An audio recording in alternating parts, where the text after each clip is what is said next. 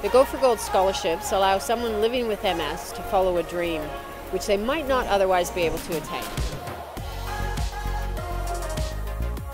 In 1999, it was started by a woman by the name of Jo Fairbairn who worked for MS. She had a fundraiser and raised $10,000 just before the 2000 Olympics here in Australia.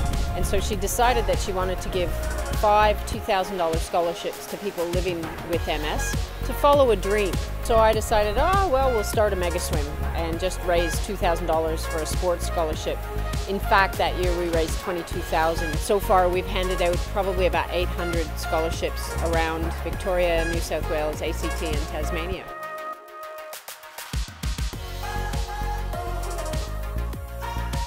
I love it when the final horn sounds at whichever swim you're at and whatever time, and you can turn around and look back and see what the swimmers have done for an incredible 24 hours, giving it their all and fundraising to help fund the Go for Gold Scholarship Program.